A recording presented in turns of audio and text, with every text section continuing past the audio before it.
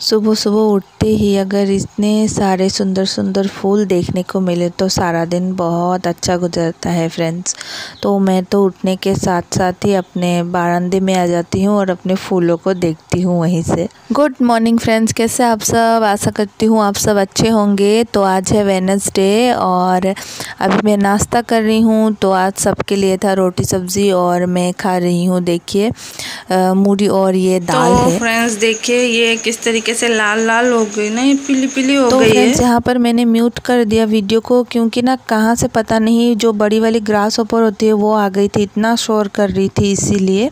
एक तो बारिश के कारण पूरा घर अंधेरा था। तो ये करेला है ना मुझे रूमी ने दिया था उसके घर का है। Friends welcome back to my channel कैसे आप सब? आशा करते हो आप सब अच्छे होंगे। तो आज है वेनसडे और अभी बच रहे हैं साढ़े नौ। तो सब्ज़ी वगैरह मैंने काट कर रख दी है। तो अभी जाऊँगी पापा का रूम साफ़ करूँगी। तो आज, कल एक्चुअली कल कल करूँगी बोला था ना, पर जैसे कि कुछ स्पेशल बनता है ना, जैसे चिकन वगैरह तो फिर उसे टाइम देकर बनाना पड़ता है तो इसीलिए साफ़ नहीं किया मैंने कल। तो आज साफ़ करूँगी। तो फ्रेंड्स, देखिए, ये मैं आ गई हूँ पापा के रूम में तो अभी काम स्टार्ट करती हूँ, क्योंकि मैंने अभी तक खाना नहीं बनाया है, नहाया ही नहीं है तो खाना कहाँ से बनाऊँगी।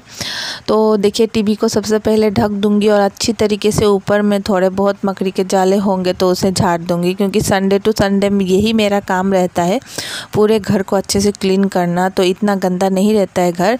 बट हाँ फ्लोर पर ना डेली की डेली चीटी जो है ना, वो मिट्टी निकालती है कोने कोने में ना वाल के साइड साइड ऐसे में तो वो मुझे बहुत डेली झाड़ू अच्छे से लगाना पड़ता है। तो अभी देखिए, झाड़ लिया है मैंने पूरा रूम अच्छी तरीके से तो अभी ये टीवी के सामने पापा का जो प्रेशर का मशीन है, वो है। दवाई वगैरह जो भी है, सारा कुछ हटा लूँगी और अच्छे से क्लीन कर लूँगी। थोड़ा बहुत डस्ट गिरा है ना अभी। तो इसीलिए और ये टीवी का कवर ववर कपड़े मैंने सारा कुछ धोया था उस दिन ना, जिस दिन मैंने मेरा रूम भी क्लीन किया था, कपड़े भी धोए थे। तो उस दिन मैंने कपड़े सारे धो लिए थे, पापा के रूम के भी धो लिए थे, बस घर मतलब रूम ही क्लीन नहीं कर पाई थी। टाइम इतनी जल्दी चला गया था उस दिन। तो अभी ये सब अच्छे से साफ़ करने के बाद फिर से जो सामान चाहे वहीं रख दूँगी, क्योंकि पापा को इजी रहता है यहाँ से लेने के लिए। कोई भी सामान तो इसीलिए टीवी के सामने ही रखते हैं। तो चलिए, अभी मैं ये क्लीन कर लेती हूँ और हाँ फ्रेंड्स आप सभी से एक रिक्वेस्ट है, बस थोड़ा सा सपोर्ट दीजिए मुझे अपना। प्लीज़ चैनल पर नए हैं तो चैनल को सब्सक्राइब करिए। और मेरे वीडियो जो है ना, अगर आपको पसंद आता है तो लाइक और शेयर कर दीजिए फ्रेंड्स तो चलिए, मैं अच्छी तरीके से ये क्लीन कर लेती हूँ।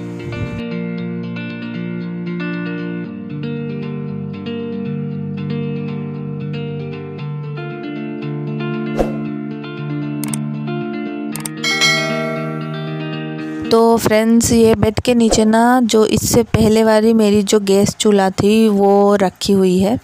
तो ये ऑटोमेटिक वाली थी ना तो ये दुकानदार ने बोला कि नहीं बनेगी तो फिर मैंने दूसरी वाली ले ली स्टील वाली ले ली थी नहीं तो ये पापा ना कोशिश करते हैं बनाने की तो इसलिए ये पापा ने यहीं पर रखा है।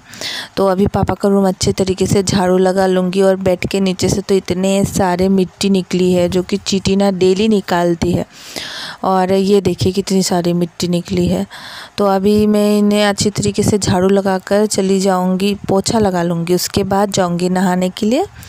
तो चलिए मैं अच्छी तरीके से अभी पोछा वगैरह लगा लेती हूँ।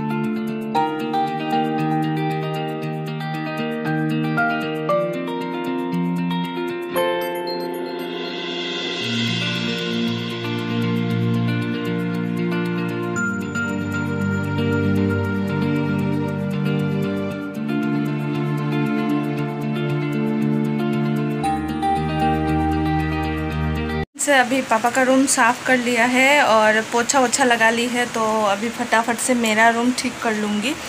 थोड़े कपड़े इधर उधर रह ही जाते हैं, जैसे कि इसके ऊपर देखिए।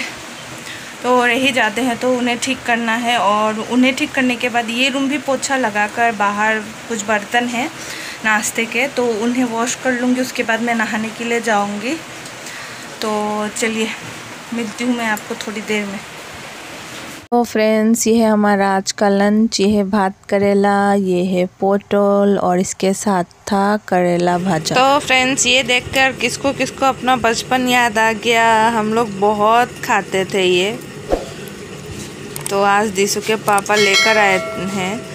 शायद उन्हें वहाँ पर मिल गया। तो मिलता नहीं है आजकल इतना इजीली गुड इवनिंग फ्रेंड्स। तो ये शाम को मैंने पास्ता बनाया था। उस दिन जो पास्ता लाई थी ना, उसमें से थोड़ी सी बच गई थी तो वही बनाई है मैं और दिशु के पापा खा रहे हैं। तो दिशु ने अभी जस्ट दूध और बिस्किट खाई थी तो उसे पास्ता नहीं खाना बोली वो तो उसने पास्ता नहीं खाया। और पापा तो खाते नहीं हैं तो पापा को सूजी बना कर दे दी थी। तो चलिए फ्रेंड्स, आज का ब्लॉग मैं यहीं पर एंड करती हूँ। बाय।